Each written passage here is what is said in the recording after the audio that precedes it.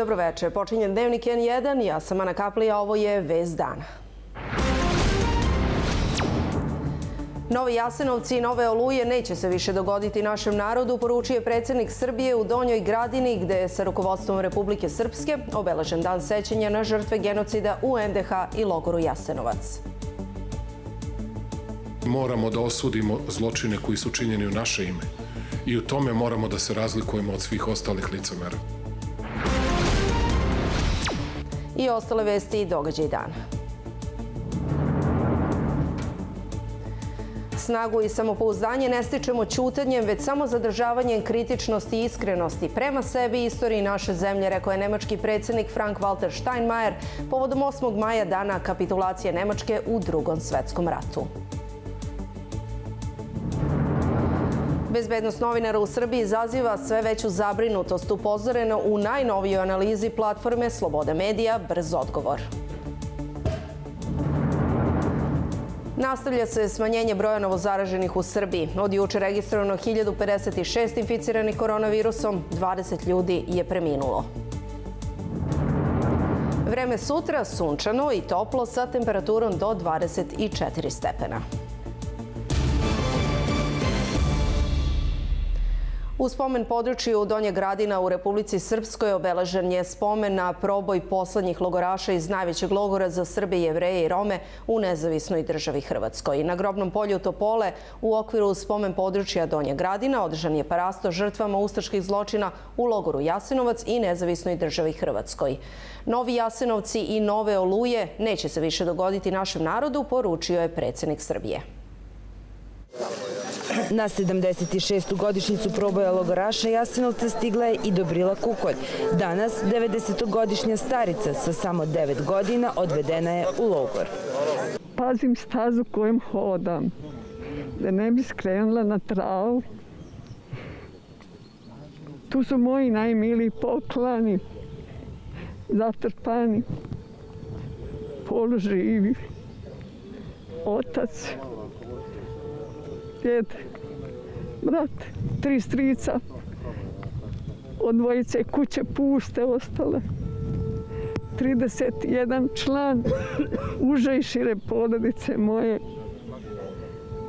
nestalo je, pobijeno po Jasenovcu, po Gradinim, po Sajmištu. Stradalima je služen parastos i odata počast polaganjem vijenaca i cvijeća. Prisutnima su se obratili predstavnici romske i jevrejske zajednice, a samo obilježavanje zajednički su organizovale vlada Srbije i Republike Srpske. Ujedinjeni bolom, ali i trajnom obavezom da od zaborava sačuvamo i ovo strašno mjesto i nedužne žrtve koje su ovde ubijane na najbrutalniji i najsvirepiji način. A nacija smo govorimo nama Srbima, pošto ni to ime Srbi nismo smeli da izgovorimo, koja je stradala najviše na ovim prostorima i to nam takođe nikada neće priznati. Niko. Ni u Evropi, ni u svetu, ni u regionu. I džabe brojevi i džabe činjenice nisu ni važne. Ali mi moramo da se ponosimo činjenicom da mi moramo da osudimo zločine koji su činjeni u naše ime i u tome moramo da se razlikujemo od svih ostalih licemera. Pred diplomatskim korom predsjedavajući predsjedništva Bosne i Hercegovine poručio je. Mi Srbi ovde u Republici Srpskoj nosimo tešku političku borbu za naše pravo dobijeno međunarodnim sporazumom, koji opet ta međunarodna zajednica uporno kršila, jer je svikla ovde da Srbima uređuje na koji način i šta treba da uradi. Od visokih predstavnika ovde su bila dva Austrijanca, jedan Njemac, a koliko vidim namjeravaju da dovedu još jednog Njemca. Da li nisam ja možda prolupao?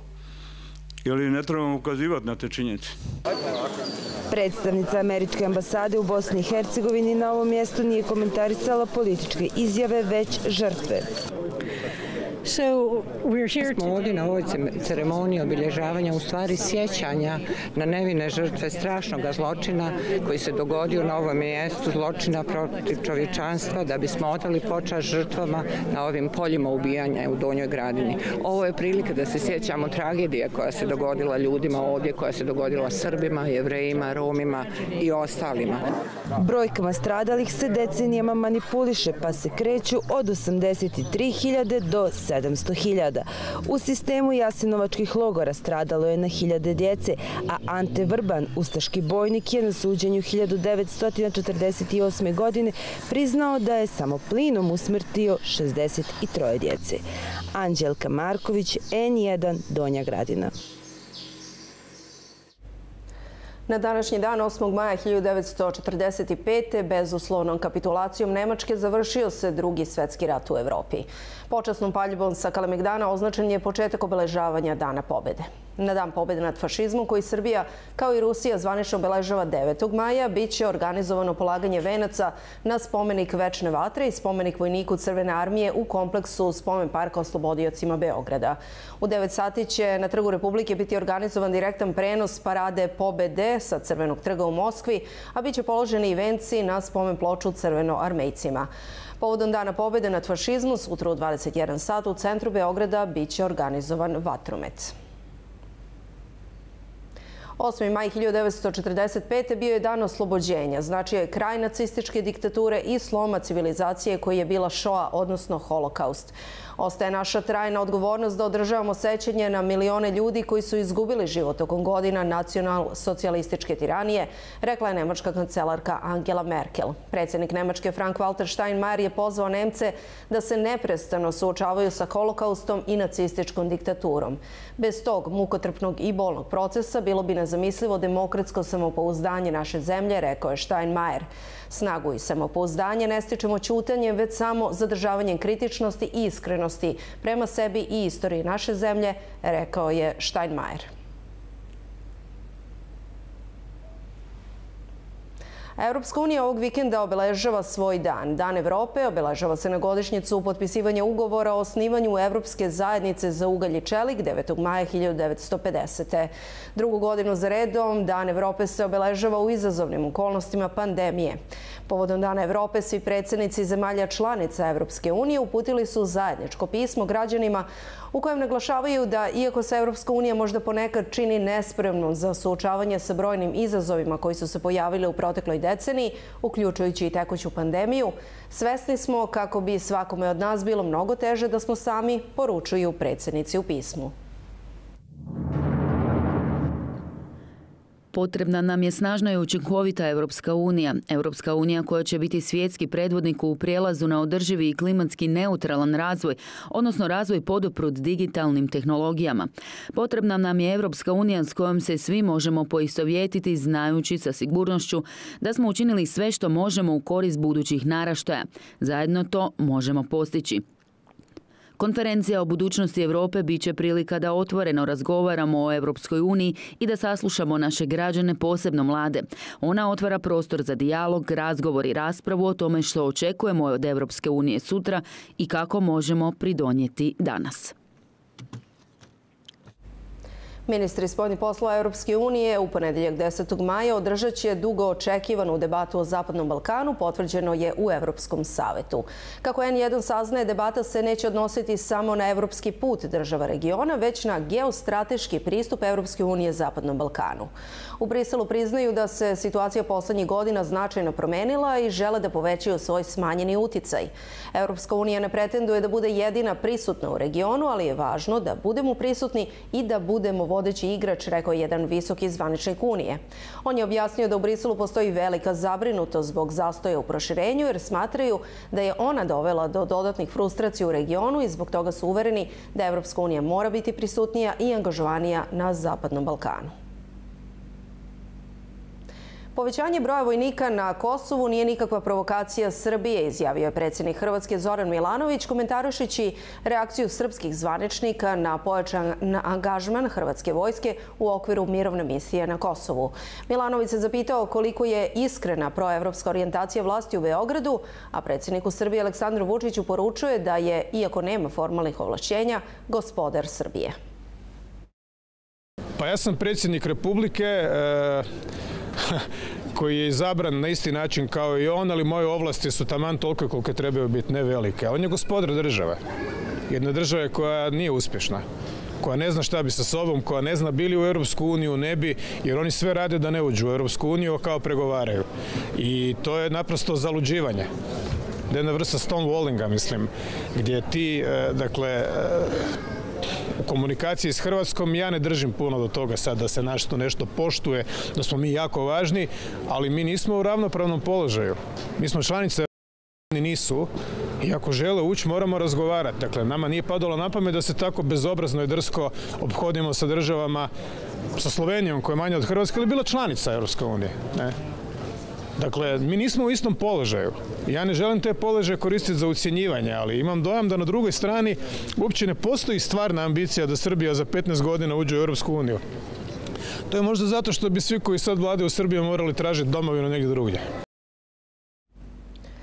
Bezbednost novinara u Srbiji izaziva sve veću zabrinutost, a već tešku situaciju je pogoršala pandemija COVID-19, navodi platforma Sloboda medija brz odgovor. U izveštaju koji je izradila organizacija članak 19 u saradnji sa NUNS-om ukazuju i na događaje sa protesta iz jula prošle godine.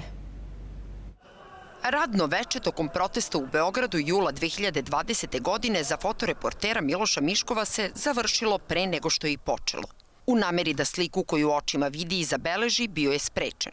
Kamenice, gađenje policije i kad je policija krenula, u, odnosno počela se priprema za, za intervenciju, ja sam ostao po strani da, da napravim fotografiju kako policija silazi ni stepenice kod Skupštine i tad sam ostio da sam pogođen nekom ciglom ili kamenom. Kamenica na Miškova je stigla iz nepoznatog pravca, pa pretpostavlja da ju je bacio neko od demonstranata.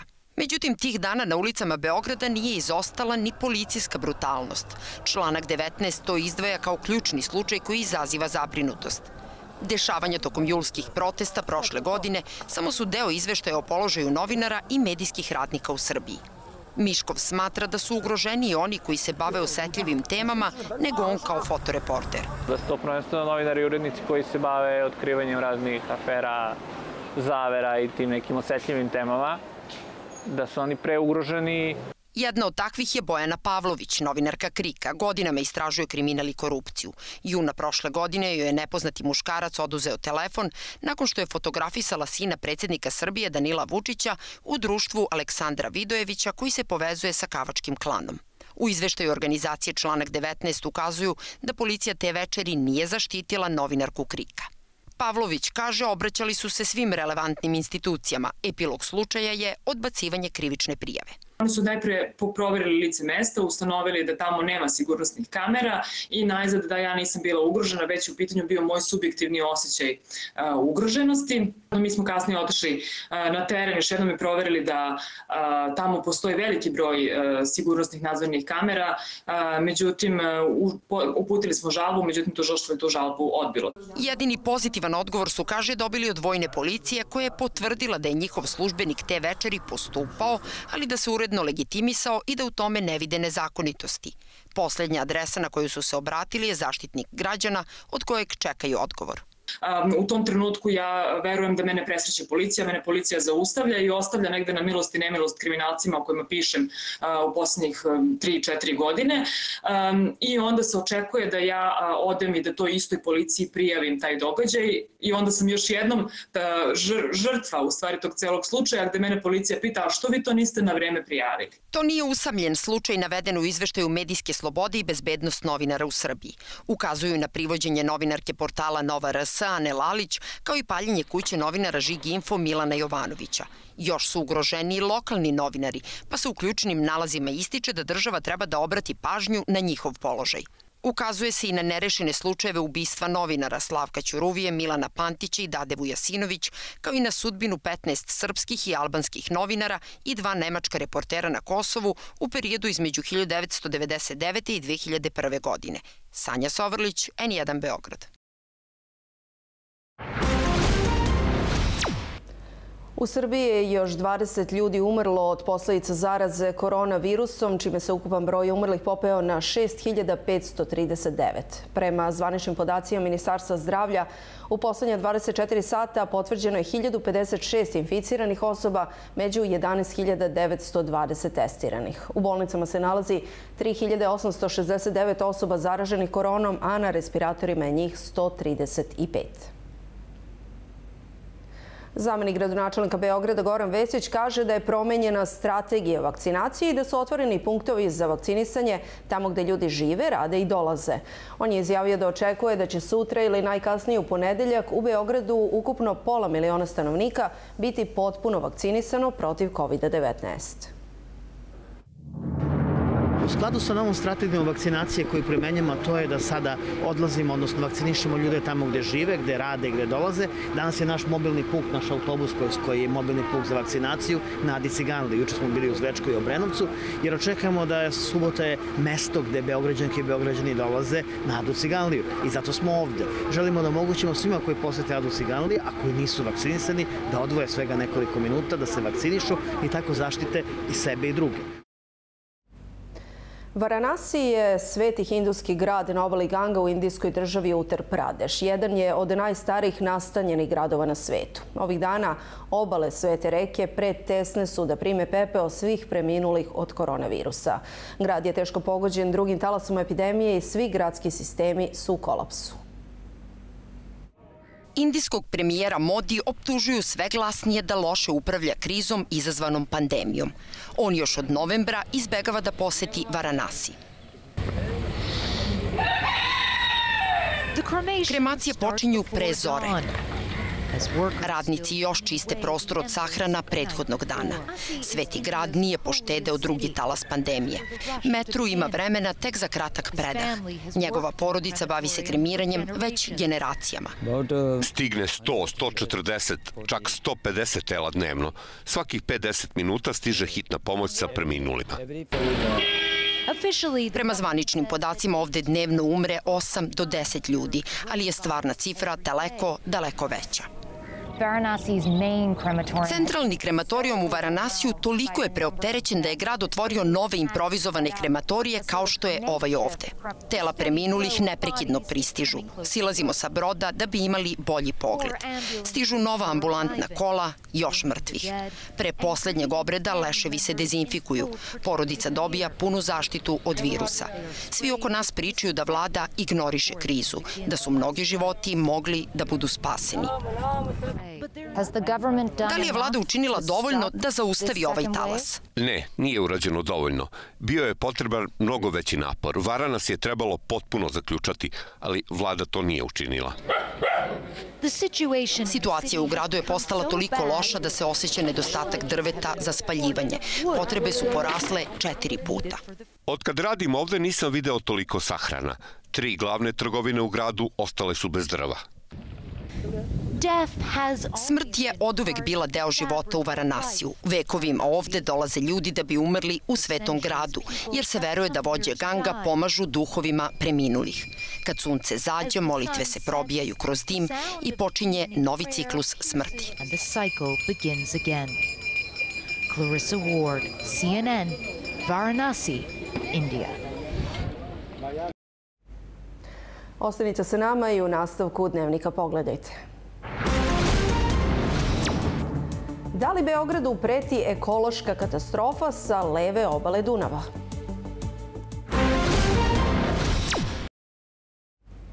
Da li Beogradu preti ekološka katastrofa sa leve obale Dunava? Meštani Koteža, Borče i Krnjače za N1 tvrde da su u strahu da će ostati bez jedine preostale prirodne oaze u području Bare Reva, jer se na toj lokaciji više od godinu dana odlaže šut, zemlja i drugi građevinski otpad. Ukazuju da su zbog toga posečeni hektari šume i da su ugrožene životinje i ptice. Iako su se nadležnima više puta obraćali za pomoć, odgovor nisu dobili sa leve obale Dunava nedaleko od centra Beograda netaknuta priroda, ali da je netaknuta deluje samo na prvi pogled, jer su lepotu Reve zatrpali otpad, šut, zemlja i građevinski kamioni. Od te lokacije Nenad Đakić živi kilometar dalje. Kaže, ni u najgoroj noćnoj mori nije mogao da sanja da će prirodna oaza preko noći početi da nestaje. Ja sam ovde našao divan jedan mir, međutim, još uvijek ga ima, ali tu, baš na obali Dunava. Ovo više nije to. Ovo je već daleko, daleko otišlo u drugom smeru. Šta se ovde dešava? Pa dešava se, do, eto, mogli bi komotno da kažemo najava katastrofe. I dešava se katastrofa ekološka. Više od godinu dana kamioni neprestano dovoze građevinski otpad, a meštani tvrde i da su zbog toga stradala brojna stabla. Osim same buke koja se čuje u naselju, je u stvari e, šteta koja se nanosi prirodi u ovom kraju. Znači ovo je deo u kome ima dosta šume i sečen je ovde ogroman prostor. E, ogroman, u hektarima se meri. Ovde se preko noći sve promenilo i mi strahujemo od neke ekološke katastrofe. Ne znamo ni sami šta je u tim kamionima, nema nikog e, da gleda, kontroliše šta se ostavlja, šta se baca. Ipak je ovo životna sredina. Ovde svakako je i Eurovelo ruta za, do Crnog mora biciklistička, gde svaki dan prolaze mnogo biciklista, ne samo naših, nego i stranih građana koji su se divili ovom zelenilu i svemu ovome, sad nemaju čemu da se dive. A zbog čega se građevinski otpad odlaže u šumi blizu Koteža i Krnjače još nije poznato. Ne zna se ko tačno stoji iza toga i ko je za taj posao dao zeleno svetlo. Odgovor na ta pitanja N1 nije dobio od zamenika gradonačelnika Gorana Vesića, ali ni od nadležnih iz Ministarstva zaštite životne sredine. Mi zaista ne znamo ko ovde izvodi radove, kao što vidite, ne postoji nikakva tabla. Vi znate i sami da postoje zakonska regulativa koja nalaže da na svakom objektu gde se izvode određeni građevinski radovi mora da postoji tabla na kojoj piše broj rešenja, datum početka, kraj izvođenja radova, ko je nosilac, na osnovu koje dozvole to ovde nemamo. Iz udruženja tvrde i da je na parcelama Reve otpad prvobitno trebalo da odlaže javno komunalno preduzeće Gradska čistoća. Dozvolu za to su u novembru 2020. najpre tražili od Sekretarijata za životnu sredinu, priloživši studiju o proceni rizika zbog skladištenja, kako su naveli, neopasnog otpada. Potom su se obratili i nadležnom ministarstvu, koje je u martu objavilo da je povodom toga primilo zahtev. I to je sve što je navedeno. Studija o uticaju na životnu sredinu još uvek se nalazi u Ministarstvu za zaštitu životne sredine na odobravanju. Znači ona još uvek nije ni odobrena od strane ministarstva, a radovi su već započeti. Absurdna je situacija. Naime, javno komunalno preduzeće Gradska čistoća ovde bi trebalo da odlaže, bar prema toj studiji. Kao što ste imali priliku da vidite, ne radi se samo o kamionima Gradske čistoće, ovde se radi i o privatnim firmama i o firmi javno komunalno preduzeće Beograd Put i da ne nabrajamo City Road Group i tako dalje. Dok se ne utvrdi koje sve firme odlažu otpad i zbog čega, meštani upozoravaju da su pored prirode ugrožene životinje i zaštićene vrste ptica. Ovde je posebno ugrožen orao belorepan, njegovo prirodno stanište je ovde u Bararevi. Njegovo gnezdo ovde negde bilo, e sad, da li je ostao tu ili nije, to ja nisam sigurna. Kako bi odbranili jedinu preostalu oazu prirode, stanovnici Koteža, Borče, Krnjače i Višnjičke banje najavljuju protest za 16. maj u području Beogradske bare Reva. Jelena Mirković, N1, Beograd. Sledi priča o Srbinu i Albancu, Slaviši mentoru, koji se punih deset godina bave spašavanjem pasa lutelica na teritoriji čitavog Kosova. Ne traže pomoć, ali priznaju da im je sve teže da obezbede dovoljno novca za brigu o ničim psima. Njih dvojica su našli zajednički jezik i najviše vremena provode spašavajući ulične pse. Smatraju da su stvorili pravo mesto i pravu adresu, bilo da je reč o napuštenim, povređenim, pa čak i agresivnim psima. Mi spašavamo pse, tretiramo ih, bolesne pse, žugave, ovo što su udarili kola. Teške slučajeve uglavnom, štence, opasne pse, uglavnom skidamo kad nas zovu bilo gde na Kosovu. Ono što su stvorili svojim rukama nosi naziv Priština Dog Shelter. Sklonište za pse se nalazi u predgrađu Gračanice. U njemu se momentalno nalazi oko 50 pasa pristiglih sa celog Kosova. Prihvataju se i tretiraju svi slučajevi. Udarili su ga kola tamo kod Čaglavice i ima dve slomljene noge. Sutra ga vodimo u Skopje na X-ray. Mentor i Slaviša se već 10 godina bave spašavanjem pasa sa ulice. Rade na dobrovoljnoj osnovi. Ne predaju se uprkos velikim poteškoćama, naročito onim financijske prirode, jer smeštaj, ishrana i lečenje povređenih pasa košta mnogo. Kažu da opstaju zahvaljujući pomoći aktivista i ljubitelja pasa, naročito onih iz dijaspore. Pomalo pomaže i opština, ali se financijska pomoć za sklonište pasa u Gračanici smanjuje iz godine u godinu. Pa boga mi je ranije bilo malo više, sad svake godine sve manje i manje. Da li ima mnogo pasa ili narod kupuje pse ove rasne, dok manje su zainteresovani za ove lične pse. Ljubav prema psima zbližila je mentora i Slavišu. Kažu da uprkos gorkoj prošlosti i političkoj atmosferi nikome njihov posao i njihovo druženje ne smeta. Toliko su se posvetili ovom poslu da su postali i dobri kućni prijatelji. Pa mi smo mnogo puta rekli da smo najbolji prijatelji, ja i Slaviša. Ceo dan smo zajedno već deset godina. Da. Znamo jedan drugog... U dušu, što kažeš. U dušu, tako. Počne on nešto i onda puni mi onda kaže, pa ja sam to mislio. To će da bude trajno. Dok smo živi. Dok smo živi, daj Bože. Daj Bože. Da, da. Pored svakodnevne brige o napuštenim psima, mentori Slaviša su momentalno preokupirani spremanjem pasoša za one pse za koje su interesovanje pokazale neke porodice u evropskim zemljama. Ukoliko ova veza proradi, onda će, kako kažu mentori Slaviša, njihovo sklonište dobiti svoj pravi smisao, a napušteni psi koji su zapali u ruke ove dvojice će moći biti smatrano da su rođeni pod srećnom zvezdom. Zana Cimili, N1, Priština. U Srbiji sutra sunčano i toplo, maksimalna temperatura do 24 stepena. Sponzor vremenske prognoze Stil Promedic. Prirodni šamponi bez sulfata.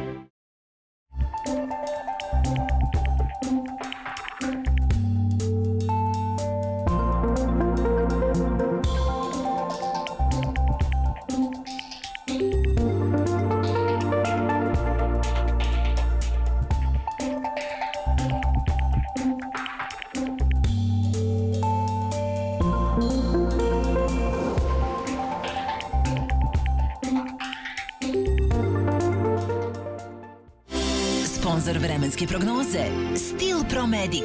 Prirodni šamponi bez sulfata.